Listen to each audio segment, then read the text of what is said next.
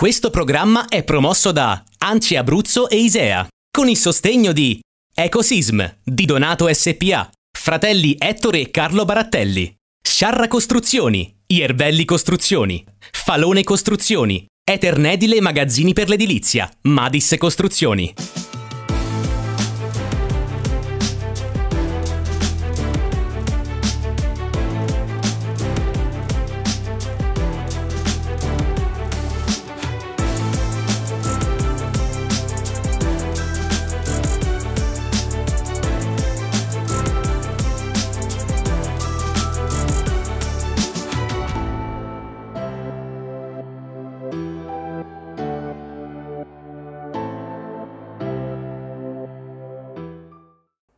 Viaggio nel cantiere del Piano Nazionale di Ripresa e Resilienza tra luci ed ombre, rinvii amministrativi, caro prezzi ed urgenze infrastrutturali. L'Abruzzo si prepara a vivere una sfida colossale con circa 10 miliardi di euro in cantiere appunto ai quali si aggiungono le risorse destinate dal fondo complementare. Iniziamo questa nuova puntata di Cantiere Abruzzo.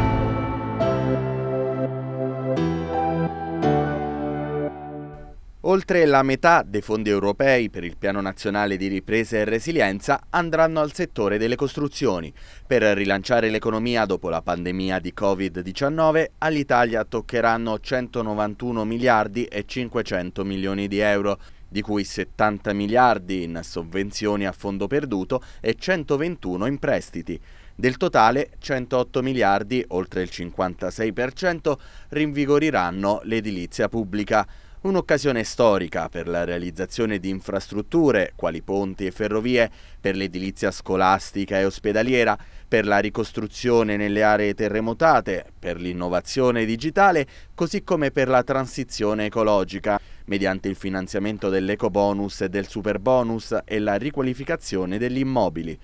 Dei 108 miliardi che riguarderanno le costruzioni, 87,3 sono già territorializzati. Significa che per l'81% dei finanziamenti è possibile individuare i territori nei quali le risorse europee produrranno effetti in termini di investimenti realizzati. La maggior parte della somma andrà al mezzogiorno e al nord del paese, dove arriveranno rispettivamente 37,3 e 36 miliardi, ovvero il 43 e il 41% del totale. Al centro Italia il 16%, cioè 14 miliardi.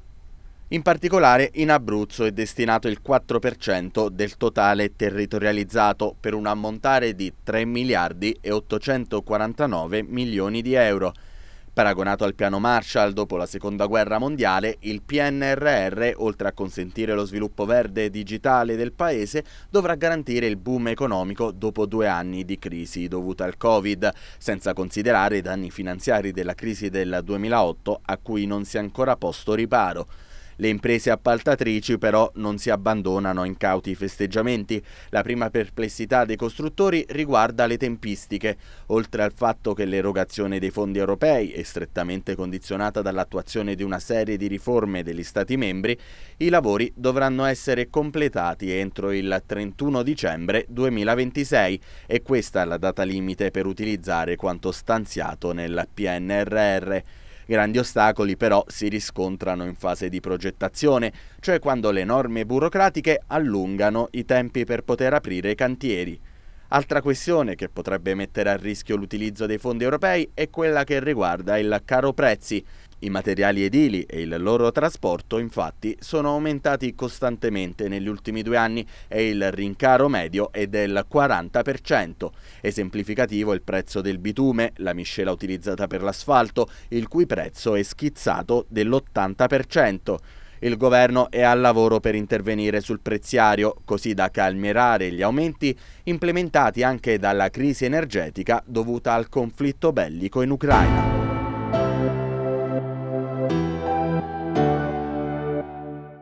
Edoardo Bianchi, vicepresidente dell'ANCE, il Piano Nazionale di Ripresa e Resilienza prevede risorse per il nostro Paese pari a 220 miliardi di euro, di cui ben 108 miliardi e quindi quasi la metà sono destinati al settore delle costruzioni.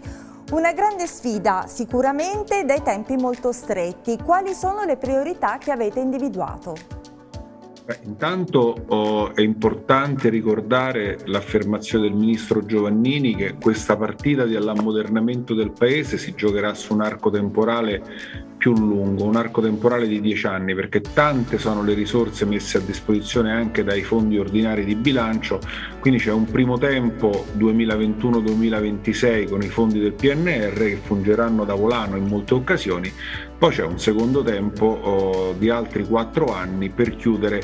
l'arco di dieci. Il, il mondo delle costruzioni è, è quello più coinvolto eh, ci sono danari in diversi capitoli di spesa, quello più importante la missione 3 che sono, uh, riguardano l'ammodernamento ferroviario e poi ci sono tutti i soldi, mm, diversi rivoli che riguardano uh, l'efficientamento energetico, riguarda l'ammodernamento delle scuole, degli ospedali, ci sono tantissime risorse. Il problema più grande che c'è fino a questo momento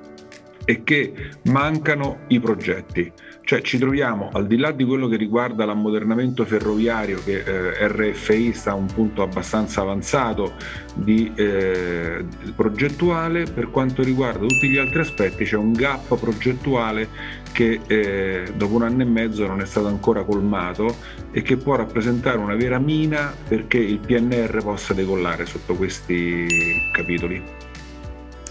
Bene, sicuramente un problema abbastanza importante, così come rappresenta un problema il caro prezzi. Mentre l'Europa ha affrontato subito con tempestività ed efficacia l'emergenza prezzi, in Italia adesso c'è il rischio che il PNRR si blocchi del tutto dopo che è saltata al governo la misura che eh, consentiva di sospendere gli appalti appunto per eh, il caro delle materie eh, prime. Cosa ci si aspetta adesso? Adesso e quali sono i passi che l'ANCE sta compiendo? Beh, intanto il, eh, il problema eh, oggettivo è che c'è un, uh, un, aumento dei prezzi che non riguarda solo l'edilizia, diciamone due che riguardano un po' tutti, carburanti, elettricità ed energia che eh, affliggono anche le, eh, le famiglie. La misura eh, che lei richiamava era una misura che non risolveva il problema, evitava che le imprese oltre al danno potessero subire la beffa perché era, era una misura che prevedeva che in presenza di un aumento sconsiderevole dei prezzi c'era la possibilità per le stazioni appaltanti di fermare i lavori. Perché? Perché era un qualcosa di buonsenso, perché le imprese non possono andare avanti se eh, non riescono a comprare le, eh, le forniture. Però il vero problema non era questo, il vero problema è che servono delle misure da parte del legislatore per consentire alle imprese di eh, avere prezzi adeguati rispetto a quelli che sono i prezzi di mercato. Cioè, oggi ci troviamo di fronte a dei prezzi completamente disallineati e non è pensabile da parte della politica girare la testa dall'altra parte perché vorrebbe dire o non fare le opere, quindi far fallire il PNR, a meno che qualcuno non possa pensare che le imprese con i propri denari eseguono opere pubbliche eh, e, e, la riprova eh, ne è dimostrata dal fatto che ci sono moltissime gare che vanno deserte. Una delle gare più importanti del PNR era un'opera che riguardava su Roma eh, la realizzazione del Ponte dei Congressi, 146 milioni, e un'opera dove non ha partecipato nessuna impresa d'Italia perché anche con ribasso zero non si sarebbero potuti realizzare i lavori. Quindi rischiamo che ci siano degli avventurieri che fanno dei ribassi eh, purché sia per prendere un lavoro e poi non, non, quel lavoro non verrà mai realizzato in quei tempi e quei costi, quindi è ancora più grave. Quello che chiediamo al legislatore è che la smetta di cincischiare intorno a un provvedimento che eh, rimanda sempre la soluzione del problema, serve un provvedimento oggi, è una situazione di emergenza, l'edilizia si trova al pronto soccorso, corso, quindi estremissima urgenza, non è pensabile risolvere il problema tra un anno o due. Serve una risposta ieri, oggi, neanche domani perché già domani è troppo tardi. Non soltanto le risorse del Piano Nazionale di Ripresa e Resilienza, ma anche quelle destinate dal Fondo complementare alla ricostruzione delle zone colpite dal sisma del 2009 e di quelle colpite dal sisma del 2016 e del 2017. Due linee di intervento, da una parte ci sono un miliardo di euro per città e paesi sicuri, sostenibili e connessi e dall'altra parte ci sono 780 milioni di euro per per gli interventi di rilancio economico e sociale. Ne parliamo con il commissario alla ricostruzione, l'onorevole Giovanni Legnini.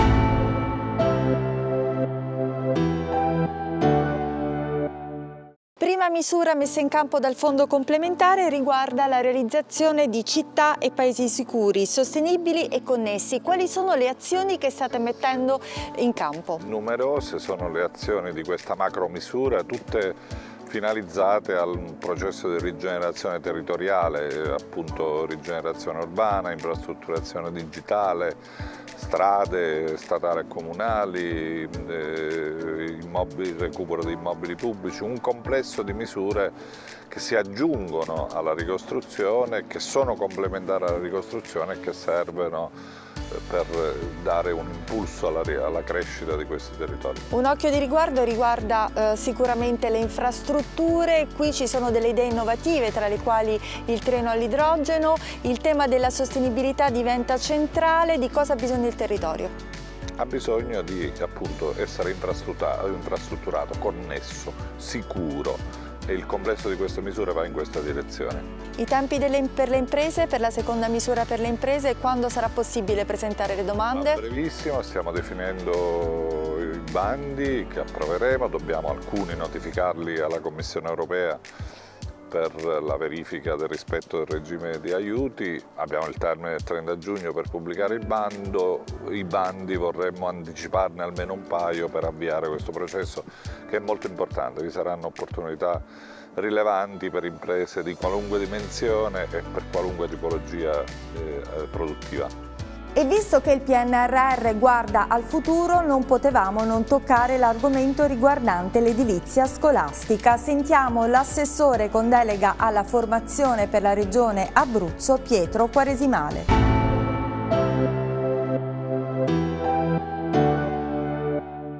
C'è stato un primo acconto che ci è stato elargito per quanto riguarda l'edilizia scolastica e come diceva lei è previsto appunto nel PNR, sono fondi importantissimi, noi abbiamo fatto uno scorrimento di una graduatoria già in essere eh, in forza della piattaforma digitale che abbiamo appunto per avere un censimento di tutte le situazioni scolastiche d'Abruzzo, è fondamentale che i ragazzi siano in posti sicuri, quindi sicuramente sono fondi importanti. Questo è un primo acconto, ce ne saranno altri, mano a mano stiamo cercando di aggiornare la piattaforma, sollecitando i comuni per chi non ancora carica eh, tutte le progettualità su questa piattaforma in modo che appena arrivano questi altri fondi possiamo finanziare gli altri edifici scolastici che come dicevo sono fondamentali per la sicurezza dei ragazzi. Ecco, come verranno utilizzati questi fondi? L'Unione Europea pone dei limiti a come impiegare questi fondi? In questo momento abbiamo destinati eh, in base al graduatore che avevamo, logicamente eh, per il miglioramento edilizio da ogni punto di vista dell'edificio, quindi anche a livello sismico, energetico, ma anche per nuove costruzioni qualora ce ne fosse il bisogno. Quindi eh, non ci sono grossi indirizzi dettagliati, quindi abbiamo eh, possibilità eh, di gestire in maniera eh, abbastanza ampia, quindi andiamo incontro alle esigenze dei comuni e dei sindaci che vivono nel territorio e sanno quali sono le criticità.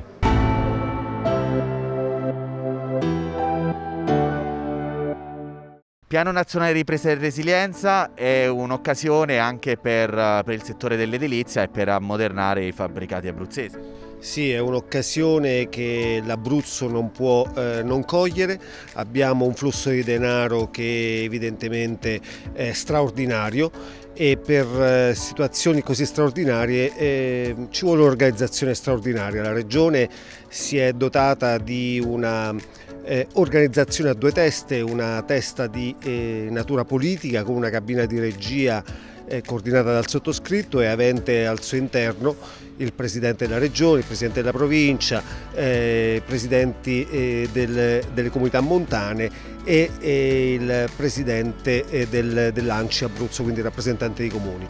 Eh, poi c'è la eh, task force tecnica diretta dalla eh, dottoressa Grimaldi, Dipartimento Presidenza, con eh, una quota di partecipazione di esperti intraregionali e con una quota di partecipazione di esperti che vengono mandati dal Ministero. Tutto questo per andare a creare una struttura che possa essere in grado di rispondere nei tempi e nei modi giusti alla sfida difficile nei tempi e nei modi a cui siamo impegnati eh, per quanto riguarda il PNRR, proprio perché i bandi che vengono emanati dal Ministero eh, portano eh, gli enti a dover rispondere in poco tempo e con cantieri, eh, con progetti cantierabili, quindi con situazioni che sono già state digerite e metabolizzate dalle strutture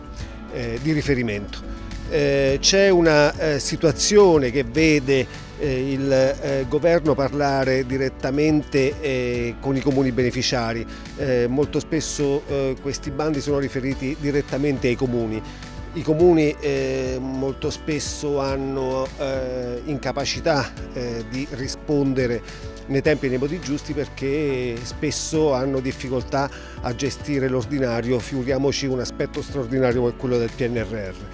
A questo punto la Regione Abruzzo sta provando a essere un po' la chioccia, la madre eh, che eh, tutela tutte le comunità locali, in primis appunto i comuni che devono rispondere a questi bandi, con eh, le professionalità che vengono messe a disposizione dei piccoli comuni o comunque dei comuni che ne facessero richiesta proprio per andare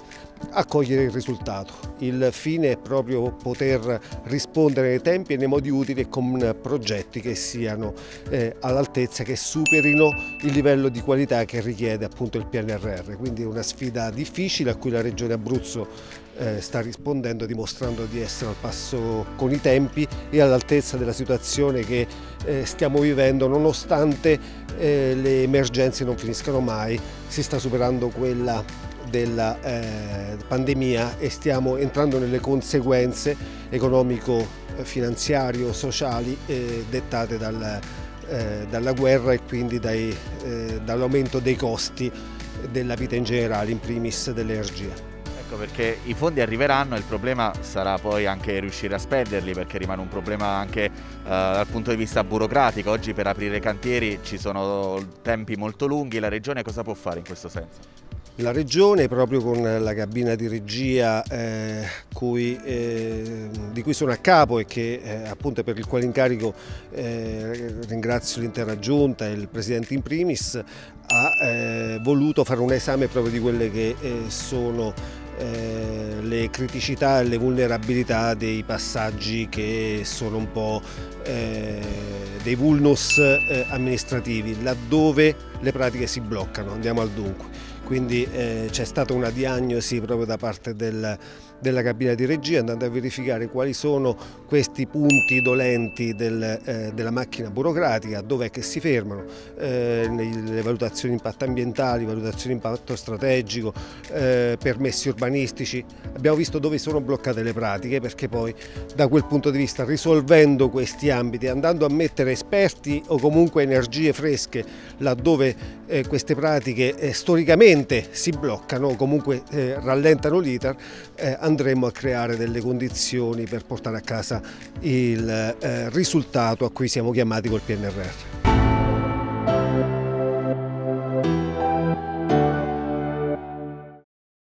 Cosa prevede il principio del Do No Significant Harm inserito nel PNRR? Il principio Do No Significant Harm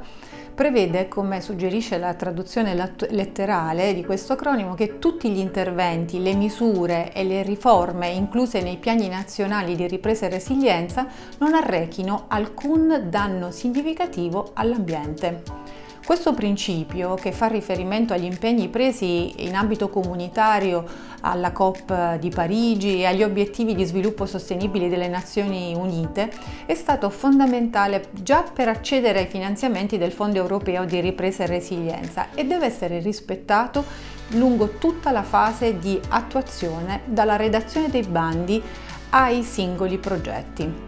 È responsabilità di ciascuna pubblica amministrazione attuare le misure secondo il principio di non arrecare un danno significativo all'ambiente che sono già codificati nella normativa nazionale e comunitaria. Infatti questo principio di fatto si basa su quanto specificato nella tassonomia per la finanza sostenibile che individua gli obiettivi ambientali da preservare, obiettivi che sono la mitigazione dei cambiamenti climatici, l'adattamento ai cambiamenti climatici, l'uso sostenibile e la protezione delle risorse idriche e marine, la transizione verso l'economia circolare con riferimento anche alla riduzione e al riciclo dei rifiuti, la prevenzione e la riduzione dell'inquinamento dell'aria, dell'acqua e del suolo, e infine la protezione e il ripristino della biodiversità e della salute degli ecosistemi. Uno specifico allegato tecnico della tassonomia riporta quelli che sono i parametri per valutare se le diverse attività economiche che si mettono in campo contribuiscono in maniera sostanziale alla mitigazione e all'adattamento ai cambiamenti climatici o che comunque non causano danni significativi ad uno degli altri obiettivi in questo allegato, in base al sistema europeo di classificazione delle attività economiche, vengono quindi individuate le attività che possono andare in questa direzione, identificando i settori che risultano poi cruciali per un'effettiva riduzione dell'inquinamento. Come abbiamo detto prima, tutte le misure del PNRR italiano devono essere conformi al principio del do no significant harm. E pertanto tutti i progetti e le riforme proposti nel piano nazionale italiano sono stati valutati dalle amministrazioni pubbliche con il supporto naturalmente di esperti in materia ambientale, stimando in una prospettiva di lungo termine per ogni intervento finanziato gli effetti diretti e indiretti che sono attesi.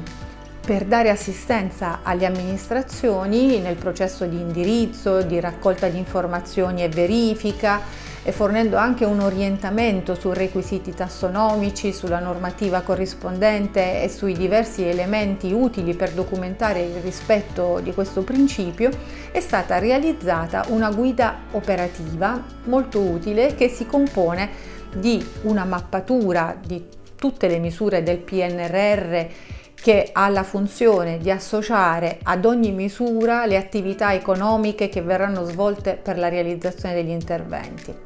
Una serie di schede tecniche che si riferiscono a ciascun eh, settore di eh, intervento con informazioni di tipo invece operativo e normativo per quanto riguarda l'identificazione dei requisiti tassonomici e dei vincoli che si hanno rispetto al Do No Significant Harm e una checklist di verifica e di controllo per ciascun settore di intervento. Ricordiamo che la guida è scaricabile sul sito ufficiale di Italia Domani nella sezione proprio dedicata al principio Do No Significant Harm. Per oggi è tutto, io vi do appuntamento alla prossima puntata. Grazie.